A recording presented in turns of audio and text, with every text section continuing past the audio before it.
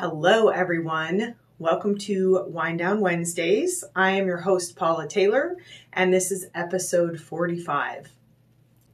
I can see my energy tonight, and it is like, wah!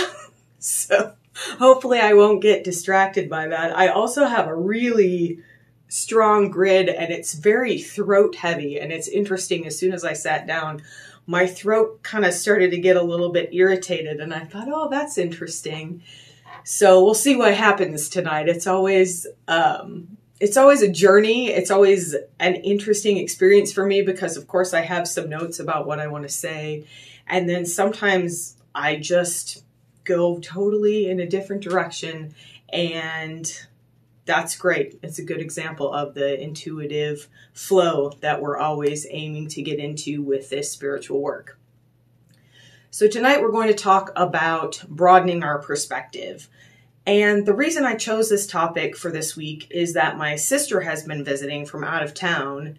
And we started talking about some of the things that happened to us in our childhood and as we were talking, we realized we had completely different perspectives about the exact same events. And we're not the same age, there's a five year age difference. And so, of course, that accounts for some of it. But it really got me thinking about our perspective and what forms our perspective. And our perspective is shaped so much by our life experience. It's also shaped by our judgments, which are usually self judgments, even if we think they're judgments of others, they're really self judgments. And so I started thinking about this, and, and we really got into a kind of in depth, like several day long discussion about this where we kind of kept poking at it a little bit and looking at it a little bit more. And then she told me this story that she gave me permission to share because I think it just illustrates this so well and and it kind of segues into what I want to talk about and then what we're going to meditate on. So she told me this story about she and my other sister and how they attended this party when they were when they were young, when they were kids. And and so her experience was that they went to this party together and she felt like they didn't belong there. She felt like it was a very uncomfortable situation. And so her judgment of the situation was that there was something wrong with her.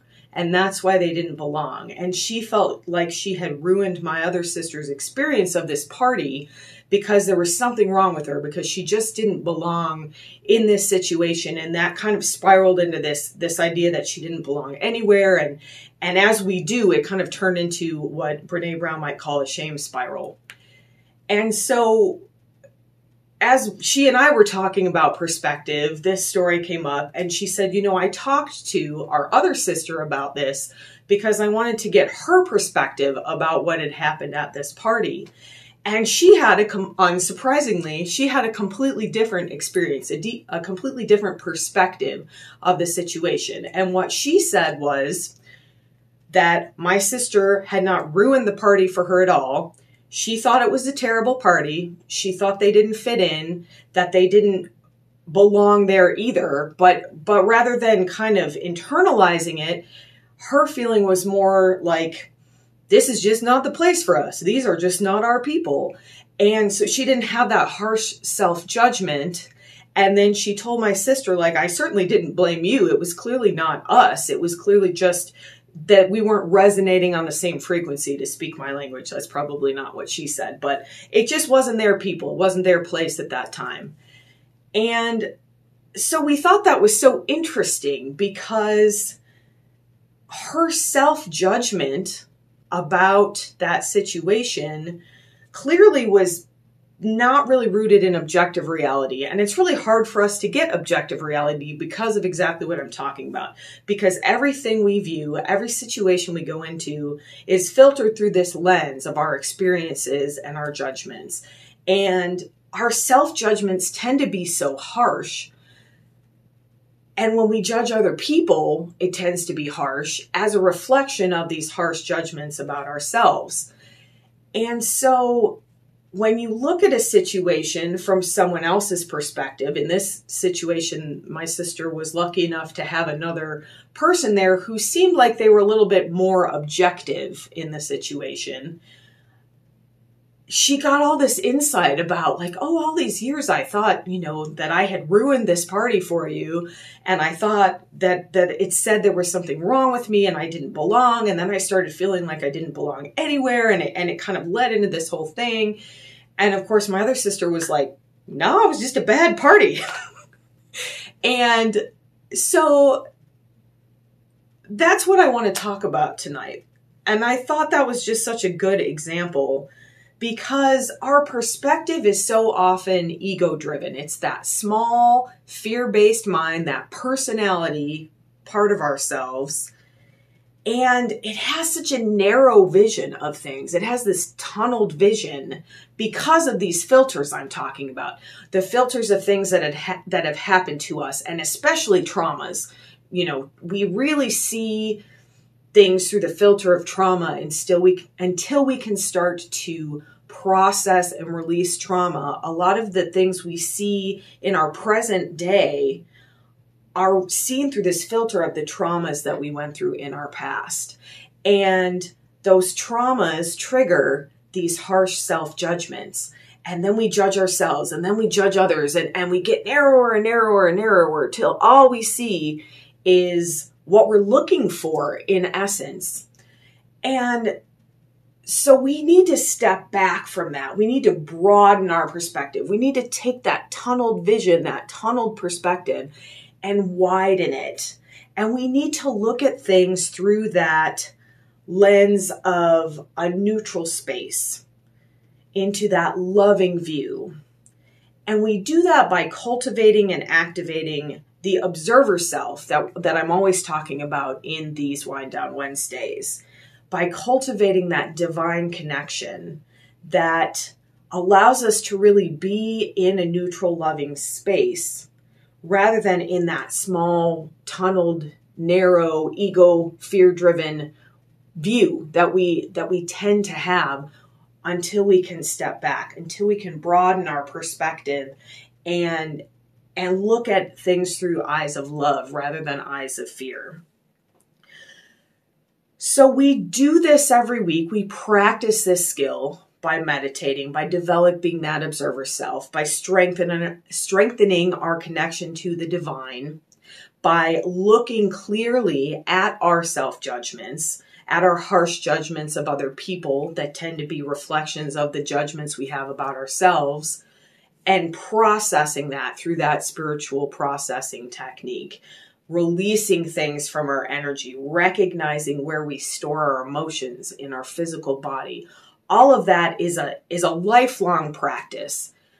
But what do we do when we're in the heat of a moment when we're in conflict or we're in an uncomfortable situation like my sister in that party wondering you know what, what do i do here? Am i oh this is all me. It must be me so i like to ask the question what is the highest good in this situation? How can i serve the highest good? And and what you'll find is that instantly takes you out of that ego based, that fear based filter, that pattern of thinking that we've developed from such a young age, and into this broader vision, this broader perspective that is more neutral that is more grounded, that is more connected to that divine flow of energy, to that divine service. This is a question essentially how can I be of service in this situation? And the minute, the nanosecond that we place ourselves in service, that script flips and it's no longer about me. It's no longer about that little me that little ego you know what do i do here and and how can i get out of this situation because it's uncomfortable? Or sometimes if it's an argument how can i win? I'm right. I know i'm right. I mean how many times do we get in a situation where you know you're right and the other person's wrong and that little ego self is like oh, i gotta show them i gotta prove it and the minute you can step out of that and and into that what is the highest good here? How can I serve the highest good? The minute you you change that viewpoint into a service viewpoint, all of those little concerns suddenly seem so trivial and you start to get a broader picture and you start to think about things in a different way. We actually we went to lunch today and we were pulling out of the parking lot and the car in front of us was waiting to turn right, but they were waiting to turn right into the left turn lane. And my sister was trying to get out of town. She had somewhere to be and we were kind of pushing it time wise. So I was feeling some pressure. I wanted to get her back to the house so she could get her stuff in her car and go home.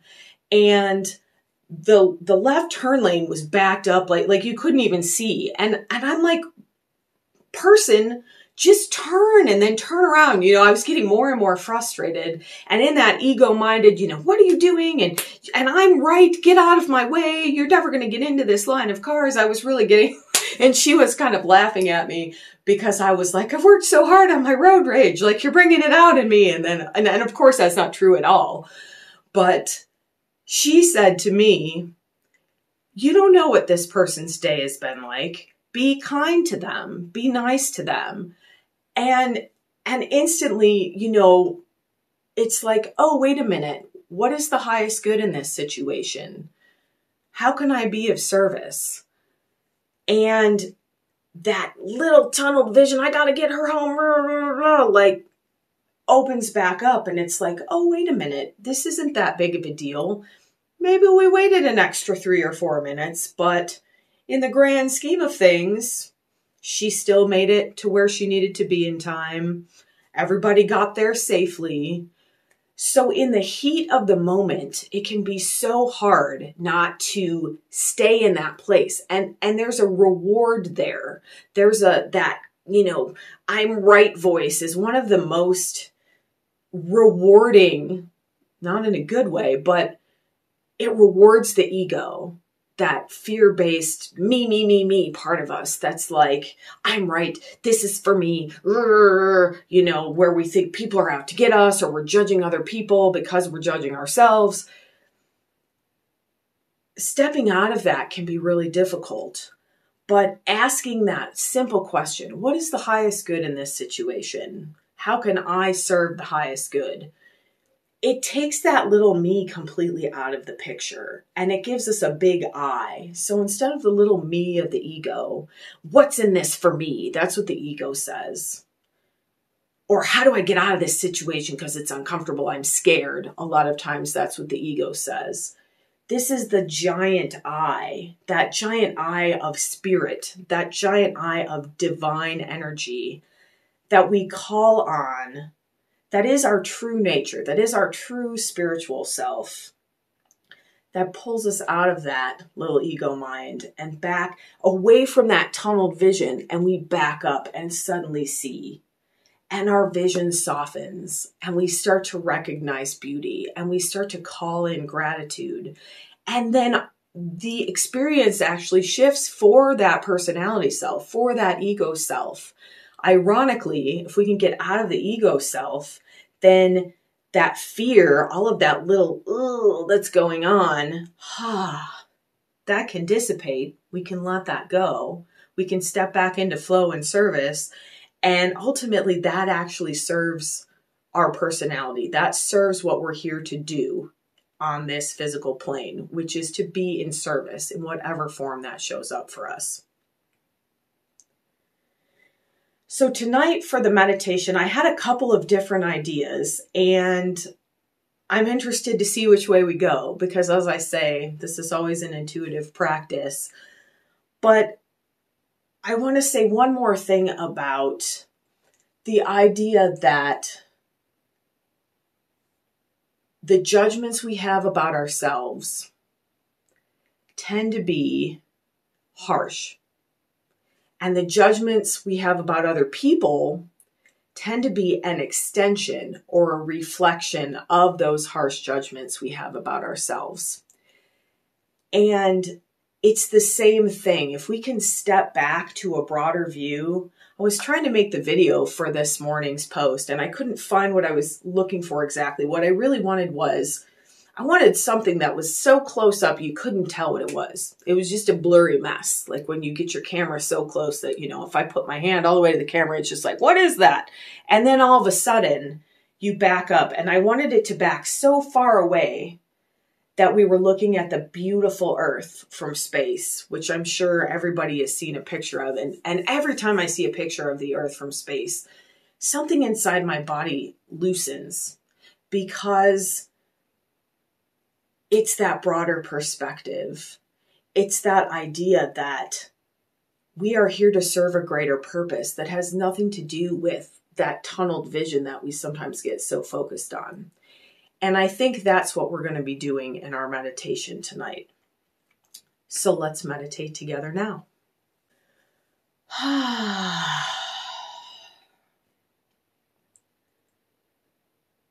Let yourself grow heavy. Find a comfortable position for your body, whatever that position is tonight. I encourage you to sit up if you can to help stay awake. But if you're more comfortable lying down, that's fine too.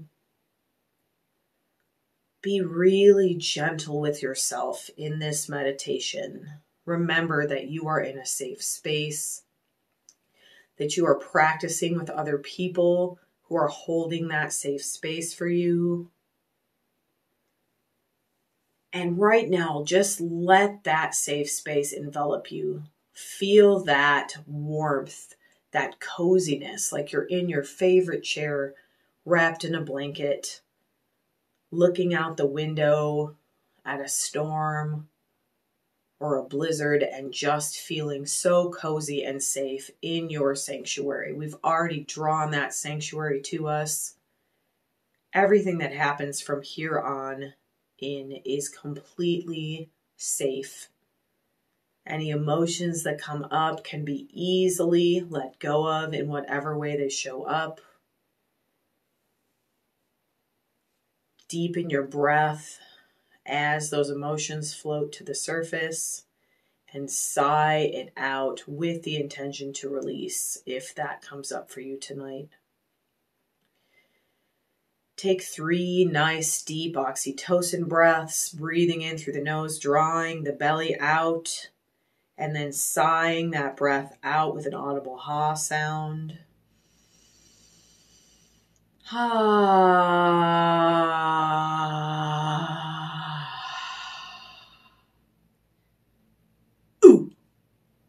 You can add that grounding oomph at the end as I just did. Just feeling very safe, very secure, very grounded here.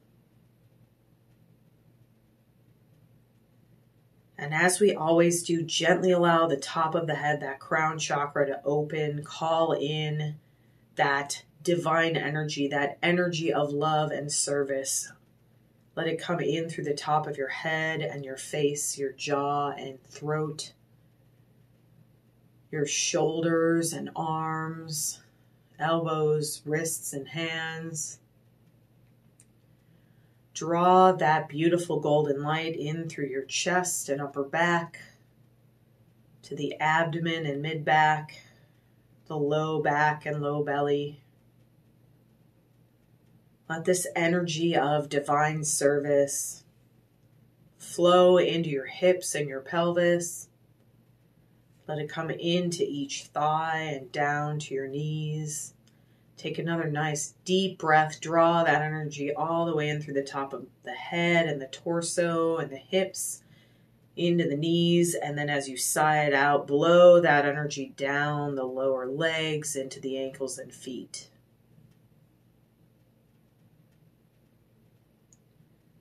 Allow yourself to feel very anchored here. Feel your feet supported by the earth. Feel the energy of the earth coming up into your feet. That rich, fertile soil here to support you in your path of divine service. And once again, draw your energetic sanctuary to you here. If you're not familiar with what that is, Just imagine that you're now sitting in the most beautiful, the safest place you've ever been. This is your special space you can come to. No one else can enter this space without your permission. And anything that happens in this space is completely safe. You are supported here. You are cared for here. You are loved in this space, just as you are in every other space that you occupy.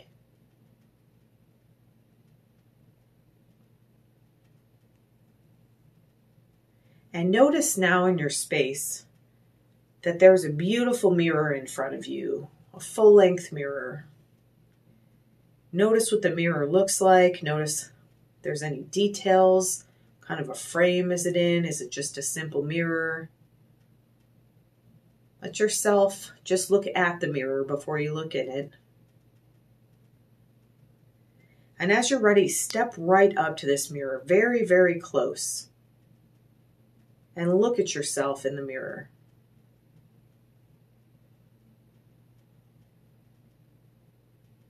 And I want you to notice here as you're looking in the mirror. Notice the judgments that you have about yourself. Start with your physical body. Notice the things you don't like about your physical body in this mirror. And remember, this is a safe space. So, any emotions that come up, let them come up. Let yourself breathe through them. If you need to take a break, you can step away from the mirror.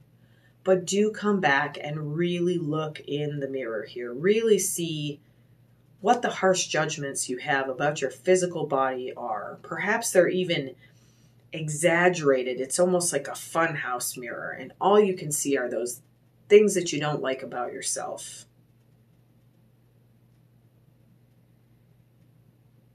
And keep breathing through any discomfort here, stepping away, taking a break if you need to. But as you're ready, now I want you to look closer in the mirror and notice any of the things that aren't physical, any of the judgments you have about yourself, the things you don't like about yourself that are within your body, the personality traits that you don't care for, Perhaps it's the way you treat other people. Perhaps it's the way you treat yourself. Again, breathing through discomfort, letting yourself express emotion as you need to. Really looking closely here. And again, this mirror may be a complete distortion. If all you're looking at are your judgments. It is a distortion, but let it be that way for a few moments. Let the words come to your mind of the things that are too much about you or the things that are not enough about you. Let this really come into your view in the mirror here. And again, keep breathing as you need to. You can use sound to release energy that's coming up. You can take a break and walk away if you need to and come back to this when you feel like you're ready. But notice now, all of a sudden, the mirror has extended, it's gotten wider. And in the mirror now, notice that there are other people from your life standing with you. And notice now the judgments you have about them or the reflection of your own judgments that you see reflected by them. Maybe it's the physical things you don't like about yourself. Maybe it's something about someone that just annoys you. See that in the mirror now, reflected in the person's reflection, in a family member, a friend. It can be multiple people. Whatever you see here, let it come to you intuitively. And again, breathe through this. This may be very uncomfortable for you. And if you're having a hard time with the visualization, just let go of that and, and let your thoughts guide you. You don't have to actually see a mirror. You don't have to actually see people. Just think about those judgments you make about yourself, the things about yourself that you don't like, and the things about other people that you don't like, the things that bother you in your friends and your family members, in the people you encounter in your daily life. And you might be feeling really yucky now. This is a hard exercise and it's an uncomfortable exercise. And we're really tunneling in. We're really illustrating that idea of that tunneled vision of only seeing the negative, of only seeing the things that make us uncomfortable or the things that we don't like, and stick with that for just another moment or two here. Don't worry, it's going to get better, but really let yourself see those things.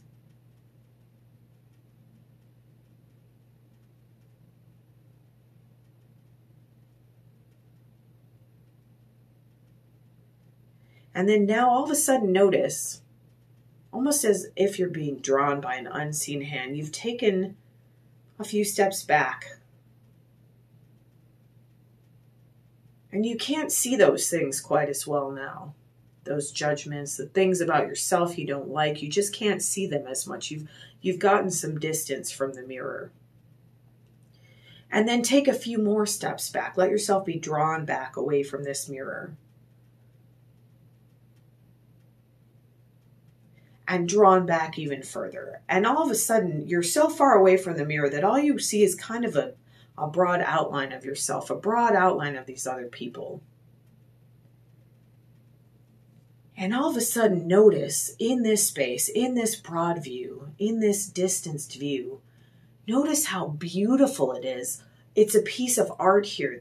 All of these beautiful silhouettes None of them are different. You can't see the details well enough to even see facial features, to see who's who. At this point, you're not even sure which one you are because you're all one continuous, beautiful work of art here. Some color, some light. Notice all the light that you see as you step away. So much more light coming into this mirror, coming into this reflection and you see this beautiful outline like a halo around each person and connecting each person in this mirror. This beautiful light, these beautiful colors. And you can no longer see those things that you don't like about yourself physically, emotionally, socially. It's all gone. You can't see well enough to see any of that because you're so far away. You just see this beauty. It's like an impressionistic painting. You're just seeing this beautiful color, this beautiful work of art. You can't quite make out what it is because you've gotten so far away that it's just blurry. It's just smudged. It's just beautiful color and light. And look at all the people with you here and notice you can't see the things about them anymore either you can't see any of those little day to day details that get on your nerves about your partner, about the person you live with. You can't see the little things about your coworkers or your boss that drive you crazy. You can't see the person in traffic that made you angry earlier today. All you see is this continuous, beautiful color, the reflection of these divine beings the divine being that you are, the divine beings that come into your life to reflect this beauty for you. So much light coming into this mirror now. It's almost blinding. Maybe you even need to step a few steps further back. And now all you see is light. Just beautiful light in this mirror. Just the beautiful light of all of these souls of all of these divine beings shining into the mirror and reflecting back. There's no room for anything else when you look from this far away. When you take this divine view, all you see is beauty. All you see is light. All you see is the softening of the harsh edges that we see when we're up close. There's no lines on anyone's face. You can't see the shape of their body anymore or their color. Everyone is just light. And any of the judgments you may have had about any of those things in this light seems so unimportant.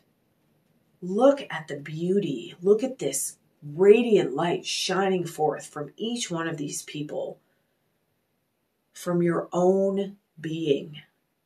This beautiful light reflecting back to you. Such an awe inspiring sight. Light and beauty and color and softness and let gratitude come in here for the last few moments of this. Let yourself feel grateful for being able to step back out of that tunneled vision, even if it's just for a few moments in, in one day. Because this broadening is accessible all of the time. We just need to step back and remember that we are divine. Everyone is divine. And those judgments don't matter in this radiant light of unconditional love.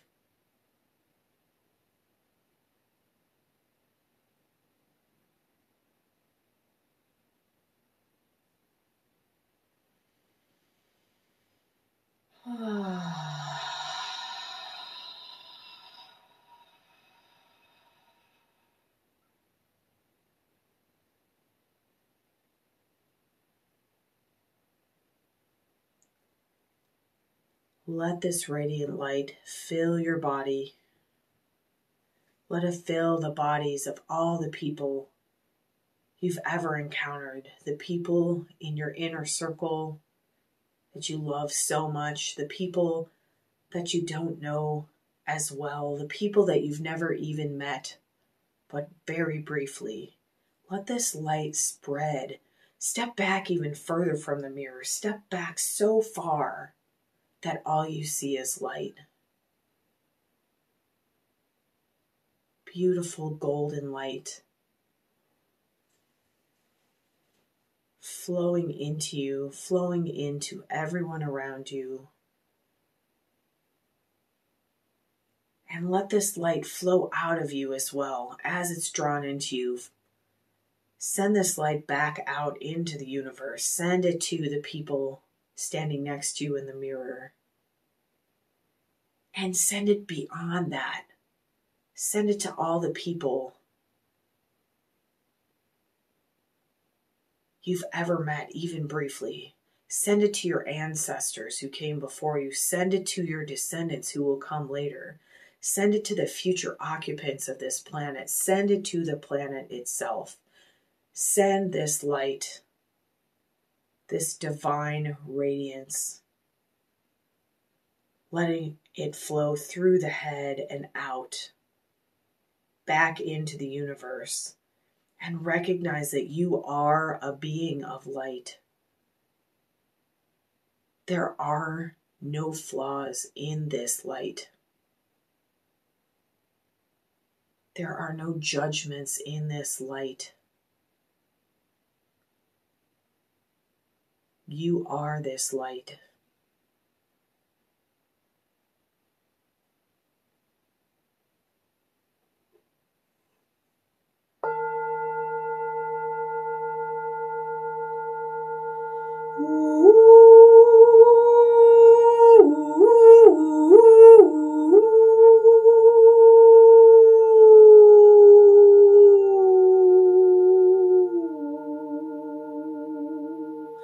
Let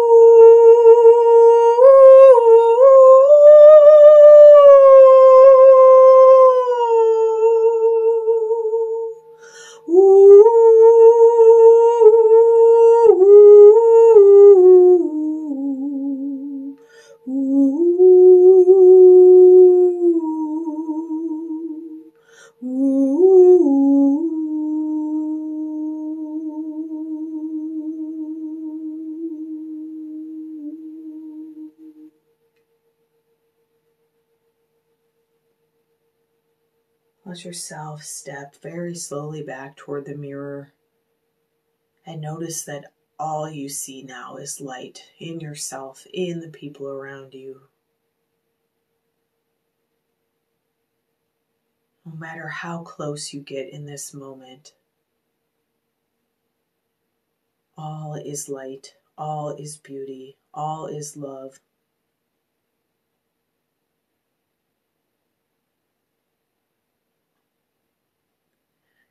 As you're ready, you can release that mirror. You can release your sanctuary, your energetic safe space.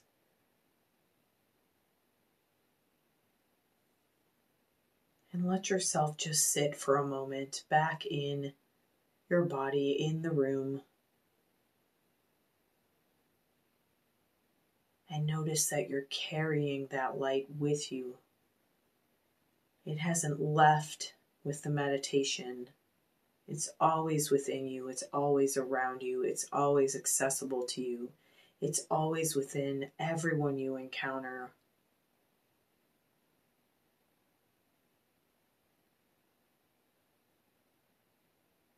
Set the intention to continue to broaden your perspective, especially in those difficult moments. Asking, what is the highest good in this situation? How can I serve the highest good?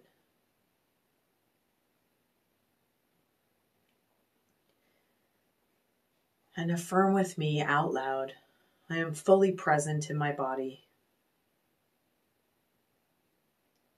I am fully present in my body and I am a being of radiant light. I am fully present in my physical body, and everyone I encounter is a being of radiant light.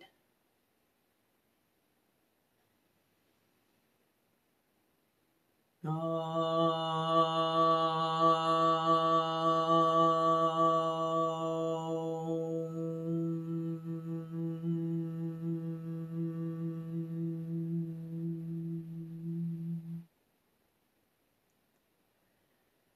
As you're ready, take another two or three deep breaths, sigh them out. Add that grounding oomph at the bottom if you'd like. Slowly begin to move your physical body, maybe moving your fingers, your wrists, cracking your ankles. Move your head around gently, maybe shrug your shoulders